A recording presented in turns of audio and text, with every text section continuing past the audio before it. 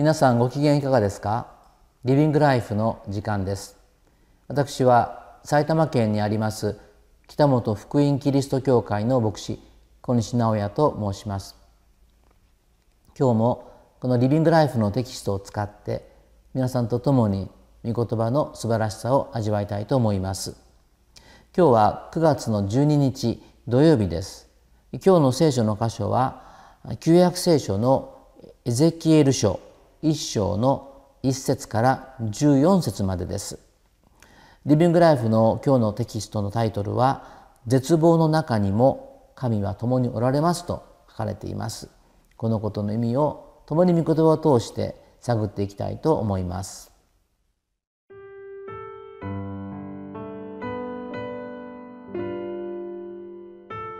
エゼキエル書1章1節から14節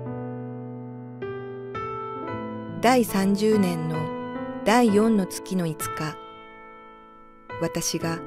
ケバル川のほとりで補修の民と共にいたとき、天が開け、私は神々しい幻を見た。それはエホヤキン王が補修となって連れて行かれてから5年目であった。その月の5日に、カルデア人の地のケバル川のほとりで、無事の子、祭司エゼキエルにはっきりと主の言葉があり、主の御手が彼の上にあった。私が見ていると、見よ、激しい風とともに、大きな雲と火が、ぐるぐるとひらめき渡りながら北から来た。その周りには輝きがあり、火の中央には聖堂の輝きのようなものがあった。その中に何か四つの生き物のようなものが現れ、その姿はこうであった。彼らは何か人間のような姿をしていた。彼らはおのおの四つの顔を持ち、四つの翼を持っていた。その足はまっすぐで、足の裏は子牛の足の裏のようであり、磨かれた聖堂のように輝いていた。その翼の下から人間の手が四方に出ていた。そしてその四つのものの顔と翼は次のようであった。彼らの翼は互いに連なり、彼らが進む時には向きを変えず、おのおの正面に向かってまっすぐ進んだ。彼らの顔形は人間の顔であり、四つとも右側に獅子の顔があり、四つとも左側に牛の顔があり、四つとも後ろにわしの顔があった。これが彼らの顔であった。彼らの翼は情報に広げられ、それぞれ二つは互いに連なり、他の二つはおのおの体を覆っていた。彼らはおのおの前を向いてまっすぐに行き、霊が行かせるところに彼らは行き、行くときには向きを変えなかった。それらの生き物のようなものは燃える炭のように見え、松明のように見え、それが生き物の間を行き来していた。火が輝き、その火から稲妻が出ていた。それらの生き物は稲妻のひらめきのように走って行き来していた。今日から旧約聖書の預言書エゼキエル書の、えー、を、まあ、読むことになりますが今日は最初の箇所です。一章の一節から十四節までです。この一節から三節のところに時代背景が書かれているので最初にそこを読んでみましょう。第30年の第4の月の5日私がケバル川のほとりで補修の民といた時天が開け私は神々しい幻を見た。それはエホヤキン王が捕囚となって連れて行かれてから5年目であったその月の5日にカルデア人の地のケバル川のほとりで無事の子祭司エゼキエルにはっきりと主の言葉があり主の御手が彼の上にあったと記されています最初の第30年というこの30年がどこからの30年かそれははっきり分かりませんけれども2節を見ますとエホヤキン王が捕囚となって連れて行かれてから5年目であったと書かれているんですね。でこのエホヤキン王はがこれは第一第二列王記に書かれての終わりのところに出てきますけれどもエホヤキン王がバビロンによって連れて行かれたという出来事が起こるわけですね。でその時に、えー、列王記を見ると王様だけではなくて全ての高官やあるいは有力者1万人とあります。さらにはいろいろな職人そして鍛冶屋そういう人々が一緒に連れて行かれているんですね。で聖書を見ると貧しい人々を除いては皆連行されたと書かれています。本当に多くの人々が自分たちが住み慣れた場所国からこの全く知らない遠く離れた外国の地に連れてこられていたわけです。気候風土が違うし食べるものも違うし言葉も違うそういう全く知らないところにこの連れてこられて生活をするということは本当にどういうことなのか想像もつかないですよね。まあ、例えて言うと、まあえー、私たちにもこの拉致をされた人たちがあいますけれどもそういう人たちが今北朝鮮でどのような思いで暮らしているのかと思う時に本当に胸が痛みますけれども、まあ、この当時のこのユダの民の人々も王様もまた有力者たちもまた多くの人たちが皆このようにして自分たちの国を追われて外国の地で生活をしているという中で本当に大きな苦しみもあったでしょうし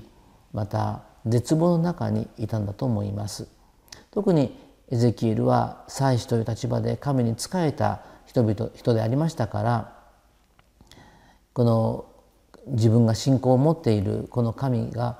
全能者であるはずなのにもかかわらずこのような状況になっていることに本当に大きな葛藤もありまた苦しみもあったことだと思うんですね。で私たちも信仰を持っていても本当にこうどうしてこういうことが起こるんだろうかと理解に苦しむようなことが起きることもあると思うんですね。でそういう時に私たちはどうしてこういうことが起こったのか神様は本当にいらっしゃるんだろうか神様は私のことを忘れてしまったのではないだろうか、まあ、そのような非常に否定的否定的なこうネガティブな思いに落ち込んでいくと思うんですね。でも、まあ、今日のこの状況も人々、まあ、エゼキルを含めてユダの人たちは本当に絶望の中にいたんです。けれどもこの3節にありますようにこの祭司エゼキエルにはっきりと主の言葉があり主の御手が彼の上にあったとあるんですね。神様は我々が気づく気づかない関係なく確かに今も生きておられてそしてこの世界を支配しておられるんですね本当の支配者コントロールしておられるのは神であるということを私たちはまあどのような状況の中にあってもそのことを確信して信じていかなければいけないと思うんですね。まあ、この時神様はこのユダの民を決して忘れていたわけではなくてこれからの新しい道を示そうとこのエゼキエルに新しい幻とメッセージを送ったわけですね。でその幻の内容が後半に書かれていますがそれは4つのま生き物の姿でありました。4節見るとこうあります。私が見ていると見よ激しい風とともに大きな雲と火がぐるぐるとひらめき渡りながら北から来た。その周りには輝きがあり火の中央には聖堂の輝きのようなものがあったその中に何か4つの生き物のようなものが現れその姿はこうであった彼らは何か人間のような姿をしていた彼らはおのおの4つの顔を持ち4つの翼を持っていた。その足はまっすぐで足の裏は子牛の足の裏のようであり磨かれた聖堂のように輝いていた。とあります、まあ、不思議な幻が見えたんですけれども、まあ、私が見ていると「見よ」という言葉が、まあ、よく出てくるんですが、まあ、エゼキエルも驚いたんでしょうね。ですからこの幻をの意味を語るから聞きなさいという、ね、そういう、まあ、このエゼキエルの、まあ、この情熱を感じさせられる言葉ですが、まあ、激しい風とか大きな雲とか火というのは全てこれは神の、まあ、臨在を表すものであると思うんですね。でそういう中に、まあ、生き物があったこの生き物ががこの幻の中心であるわけですけれどもその特徴としてはこの6節に4つの顔を持ちとあります。4つの顔というのは4つの方向を見ているということですから全てのことを見ておられて全てのことを知っているという、まあ、神のことを表していると思うんですね。4つの翼というのはこれは、まあ、ケルビムというこの翼がありますけれどもこの4つの翼で自由に飛び回っていくんですね。ですからそれは自由に飛び回るほどのこの活動力活動する力を表していると思います。このようにしてまたこの7節にはその足のことが描かれていますけれども、えー、この足がこの磨かれた聖堂のように輝いていたわけです。まあ、これら全てのものは神の栄光と神の力を示すものです。え、そのようにまたこの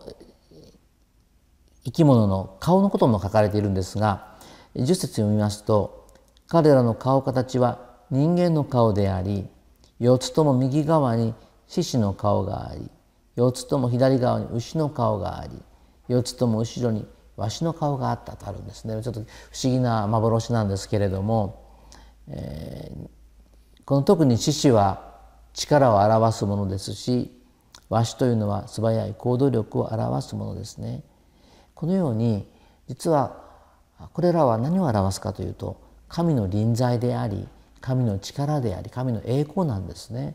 彼らは気が付かないかったと思うんですけれども実は彼らがいるところに神様が確かにご臨在しておられたということを表しています。今日のテキストにもありますけど絶望の中にも神は共におられるんですね。ですから私たちもいつも忘れてはならないんです。どのような時にも神が共におられるということそのことをいつも覚えてやはり私たちはどんな時も神を見上げること神に祈りを叫び求めていくこと神に信頼して神に助けを求めていくそのことが大切ではないでしょうか。